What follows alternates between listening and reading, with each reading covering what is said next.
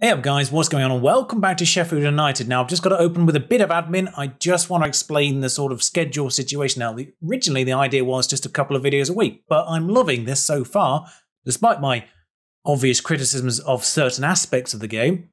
But I'm enjoying this so far and I kind of want to do an episode a day pretty much thereabouts. But if you've not been part of my journey in previous saves in the previous year, particularly the last couple of months or so, there is, I do have a bit of a personal situation going on in the background that does occasionally take me away from being able to record and edit and all that jazz. So if I do disappear for a period of time, that's why. If you follow me on Twitter, I'm usually upfront on that on that when that does happen. So please go follow me on Twitter. It's at the amazing chi over there because someone still has the version without the. I thought I'd just try and explain that. I am ideally actually aiming at one a day, pretty much thereabouts these days. So maybe for the actual beta period we'll do that, and maybe it'll scale down in the weeks to come. I don't know. But if I continue loving it the way I am right now, you may end up with a video a day regardless. Also, second thing right now, I just want to show you this. This is, I've already forgotten who did this skin, but it's on FM Scout. And it's basically, it's a skin that's reintroduced the circles, the familiarity circles on the positions. And you can just see how much better it looks just having some kind of visual indicator that a player is in the right place in the actual team sheet part of it. Obviously, you've still got the role ability stars on the right hand side, which are the only indication normally.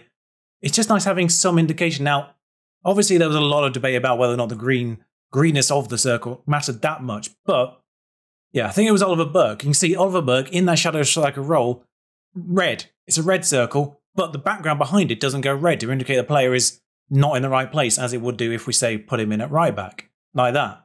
So it's just nice to have some kind of, an, even if it's just the actual indicator of player of position familiarity, even if it's not role familiarity. That would be nice. If it's just sort of the, you know, the red to green on whether or not the player can play in this position, that would be nice. The problem with this skin though is it has a horrendous player page, so I'm not going to be using it. Sorry, but this is just better. But now you can see without that, I've got no indication that Burke is out of position, other than, of course, the star rating over here. We played four games since we last met, and I lost to Fulham immediately after the Carabao Cup victory on penalties against Spurs last time out, yeah, lost immediately to Fulham. So I've been seeing a lot of talk about maybe this beta in particular being a little bit easier than previous FMs in terms of how well you do in general. The fact that I lost to Fulham made me immediately think, hmm, maybe not. Considering we've lost to Leeds and we've lost to Fulham, two of the promoted sides, I thought, I think we might be all right here in terms of results in general and accuracy in those results. Then we did beat Wolves at home, fair enough, 2 1, in part to an own goal. Then we smashed Newcastle. 6 1. Nakajima scored in the first minute. He's he's turned up now. We scored two goals in first half injury time. And because of that many goals, I actually have to open up the match preview. This irritates me every single time. But yeah, we did score six goals from an XG of 2.5 ish. Oliver Burney, Evian, and Osborne in the 94th minute. We did lose Mousset in that one though, and Rhian Brewster at the double though, filling straight in for Mousset, dispatched Brighton away from home. First away victory which at this early stage of the season does leave us in fourth with seven games played. The only team that can go ahead of us now are the team that we play, which is Arsenal. And that's followed up with a trip to Chelsea. So, all London today. I am going to try and squeeze in two games. Nothing else of note to mention. I'm probably on the wrong formation for this match, but sod it, the attacking formations worked better, if I'm honest. I even played it against Brighton away from home, and obviously you saw that one was a victory 2 1. And honestly, not really seeing much need to change the formation or players involved in it. So Ramsdale in goal, Stevens on the left. Actually, I might need to rest him. I think I need to rest Enda Stevens. I remember there being a message saying I need to rest him, but I, I kind of decided I need him for the way match. But Ben Osborne is equally as good at left back, apparently, so we will pop him in there for the time being. Egan Basham Smith in that back line, Gagliardini, Fleck, Nakajima, McBurnie in a shadow striker role, Evian on the right, and Brewster up front. Bench as you'd probably expect, although McGoldrick maybe shouldn't be there. Nope, I remember why he's there. It's because Mousset's injured, isn't it? Curious lineup from Arsenal here. I was going to say that doesn't feel full strength, but at the same time, their bench hasn't got those key players. I'm noticing lack of a Aubameyang. I'm noticing, well, the fact they're playing Pepe and Willian, traditionally both right-sided. Kolasinac, the left back, instead of Tierney, no Tierney at all. They still have Aubameyang, so I can only presume this is injury-based. Kieran Tierney's injured, as is Aubameyang, yes. So both of them are out Cedric straight up just not registered. Oh wait, any Arsenal fans, can you please explain to me what happened with Sokratis? Because I thought he was regarded as one of your best defenders, and then the last two seasons, seem seemingly practically exiled. By the way, I have learned that individuals highlights everyone automatically, so saves you clicking on each section if you want to do the same thing for all of them. Anyway, Bellerin is going to give this to Xhaka, and McBurnie's going to nick it off him though, and there is a lot of space on this right hand side. Although it's Bruce the one to get on the end of that, and he smacked it to Leno. Following corner. Interestingly, I've noticed something immediately in this year's game is the short option. They don't seem to automatically cover the short option anymore. This highlight hasn't actually ended. Nakajima's got an option to give it to Gagliardini. McBurnie's in enough space, although he's lost that space. Evian's going to kick it at the defender, and I think that will do that. Unless the break is on, which it is. Bellerin's the one to take over here. He's, hmm, not sure what the defender's done there. My camera zoomed out for whatever reason. Apologies for the previous highlight being so zoomed out. I don't know what happened there. Nakajima will find Gagliardini, and it's gone all the way back to the goalkeeper. I don't like this. It's chipped almost to McBurnie there. Nakajima will try to feed through someone. No, he won't. Just charges straight in and goal himself, and that's a brilliant move. Should have had a goal, really. Although I think he took that on his weak foot. Looked like he hit that. Look, just going to pause this here. Because this was one of the main exploits, really, with FM20, I feel like, on the corners, is normally this player here would be there, which meant one of these two players, typically, either that one or that one, would be able to nip into this space here and just get the header straight in and goal. That's a mess of arrows now, but you get the idea. So I'm intrigued to see how it works on this year's engine because if all the all if all the defenders are in the box rather than one of them covering the short option, you're probably going to see less headers going in from corners because they're actually marking the defenders properly now. I don't. I was about to say I don't like this, but Adam Smith would be one of the best clearances I've ever bloody seen. Over his shoulder, smacks it right into the danger if anyone had been prepared for it, and frankly nobody was because it was an insane clearance. Osborne gets in the way of that one, but Bernie now, finally the ball's on the ground again. Bruce has been played nicely through there, and Leno saves. All of Arsenal's attacks seemingly gone down this side. As soon as I say that, they change it. Of course they do. I'm debating on whether or not I actually just prefer this view.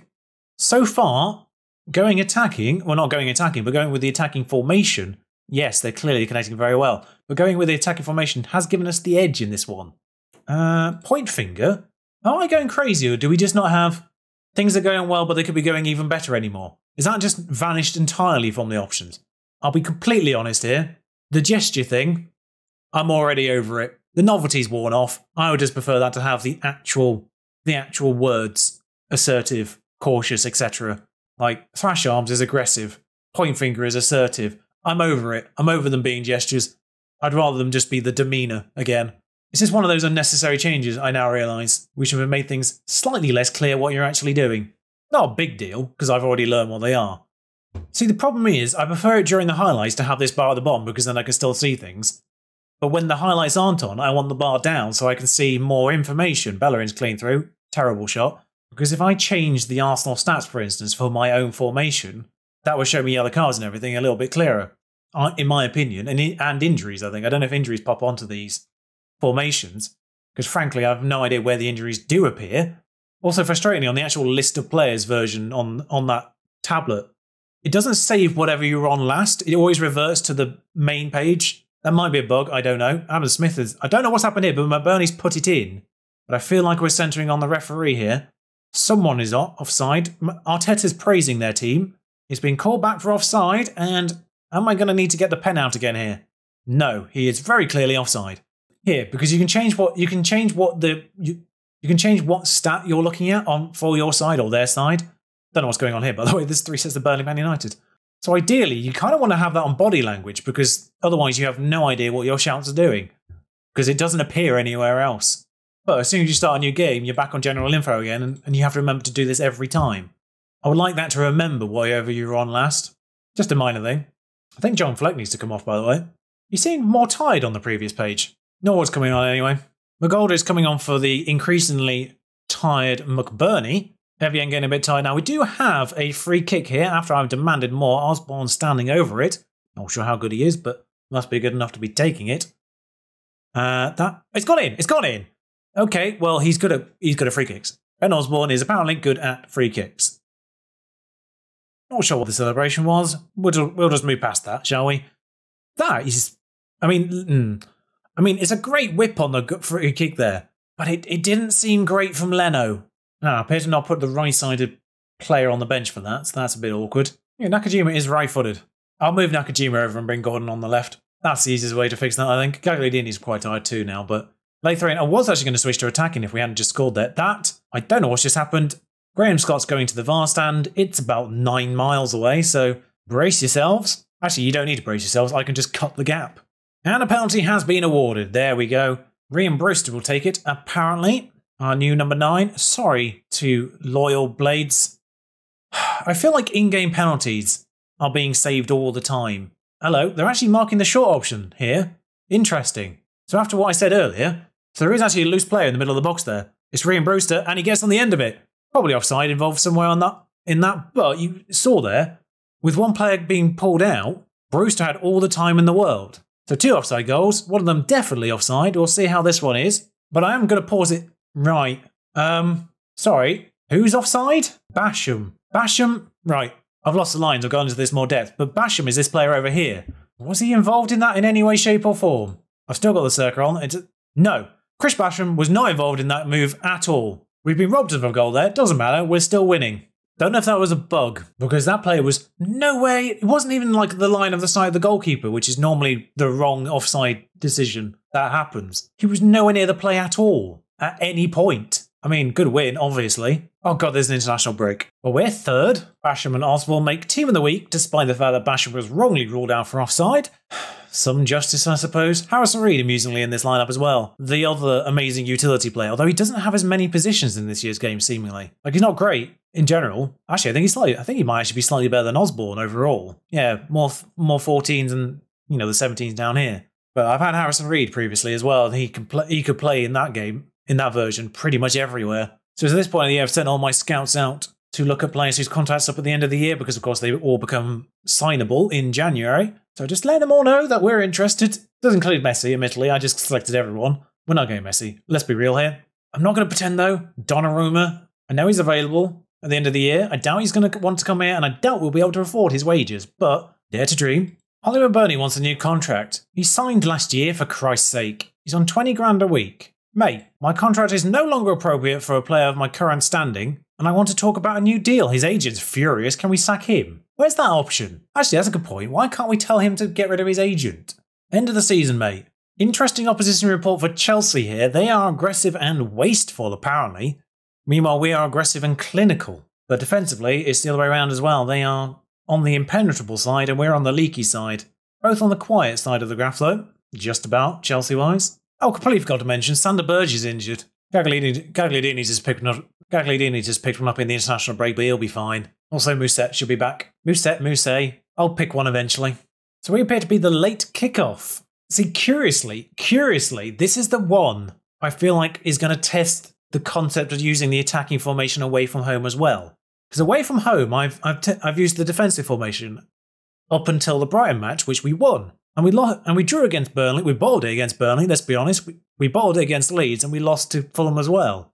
So I'm starting to think the DM version isn't good. So a few changes for the actual Chelsea match, and Stevens is going to come back in at left back after having a rest for a game.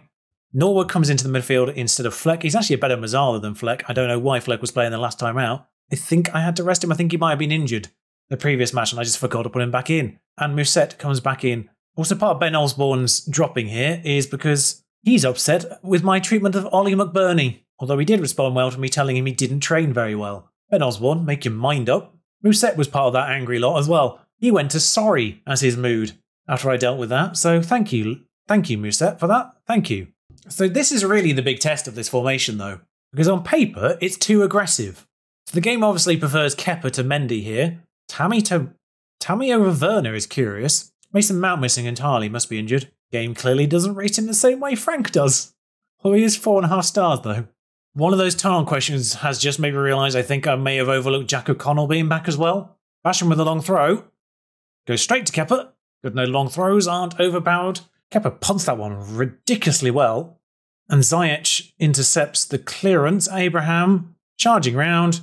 Goalkeeper does nothing. Maybe that's why Tammy's starting in Werner isn't. This, though, is A, terrible fending, and B, terrible goalkeeping. What are you doing, Aaron, mate? What are you doing? You starting to be overrated in game as well. Ramsdale to Steven. It feels like a high press from Chelsea here. Basham Maybe actually having the defensive midfielder wouldn't have been a bad idea here. Well, I mean, that's got really very little to do with the formation, that one. That's just Kovacic punting it very hard towards the goalkeeper, and the goalkeeper, again, being rubbish. Yeah, obviously a defensive midfielder might have filled that gap though, but again, the goalkeeper, what are you doing? You do know you are capable of lateral movement, right? You don't just have to move up and down, you can go side to side. Anyway, Musa, if we can try and salvage something out of this game, Smith has gone on the overlap as instructed. Smith has got past everyone. That's going to get nicked in and straight at Kepa. I can say that was a bit of a weak shot actually, and I'm kind of concerned now because that's got to Kante. And Abraham has gone, just walked around his defender again, and he just kicked in exactly the same spot. And Aaron Ramsdale has fallen to his knees again. Is this a bug? Like, it is a beta period. Is this a bug? Genuinely, is this a bug? Because I'm pretty certain the match engine is broken because my goalkeeper is incapable of moving sideways. So do we want to try this again, maybe? Evian might collect that. Oh, nice little chest down. I feel like he didn't see a lot of chest downs in previous games. Rubbish cross in, though. Cross. Havertz now is just going to whack it towards the goal. I mean, the goalkeeper didn't move again. I'm, I am, I am somewhat concerned that the game is broken. Azpilicueta playing right back is a little bit interesting because I feel like they do tend to prefer Reece James in this game. Ramsdale hosts one forward. Musa is going to get on the end of it though, and there are four Sheffield United players here. McBurnie with the night. Oh, he's at the post. Evian can't quite get on the rebound. Still pressing them fairly high though. Yeah, they have scored three goals from a .74 xg. It's not great and does indicate that our goalkeeper has been somewhat useless. I mean, if this gets to 4 0 at half time, I might just write off the second half. Thankfully, Abraham has kicked that about an entire goal width wide. Worst part of this is you'd probably argue, I mean, 1 0 at half time. I thought I'd just test the throwing water bottle. Yes, it did, did demotivate the team. I, I had heard that it may, might work if you are being trashed, but apparently 3 0 is still not enough of a margin to get a reaction out of throwing the water bottle. Also, Oliver Burney's coming off. Also, Lisa Mousset now as well, so that's good news. Nakajima's on a 5.9 somehow. Sorry, how is. What? What? Like, gen- genuinely, what has Nakajima done to deserve a 5.9 in this game? He's not missed a penalty or anything like that. That normally tanks a rating. You generally don't tend to see 5.9s except from goalkeepers who have let in like five goals or something. Ramsdale, meanwhile, is a 6.5. On comes Gordon. Marcos Alonso has ended up as a right winger here. Now he's back in centre mid. Now he's on the left wing. Is there anything Marcos Alonso can't do? See you all in training tomorrow, lads. That was absolutely abject. Meanwhile, as soon as I finish the game, the press is saying, Well done, you've done very well. Which, in fairness, we have. I wish I could add to one of these about this question about Kovacic's goal saying the goalkeeper was pathetic. But for some reason, you can't add comments to this lot. Stevens is a little jaded again. I think the next. I don't think the next match is as dangerous because it's Leicester and they are once again underrated in the game despite being licensed. Yeah, they're 17th. Still fourth, predicted 16th. In terms of what I'm going to bring you next, I think Everton and Southampton might be the shout. Depending on how long this episode ends up being, I might just switch to one game episodes. I feel like the matchday package these days is a little bit longer, but Everton Southampton is what I'm aiming at. I'm just, I, I'm just not feeling the Man United double hand. I feel like it's a little bit too close to where we are currently. And of course, if I do one of these matches just before the January transfer window, it gives you guys an opportunity to suggest players that I might be able to sign. Obviously, the Leeds game in the future is somewhere on my radar too. But I'll see you for Everton and or Southampton next time out. Until then, ta What are you doing, Aaron Ramsdale?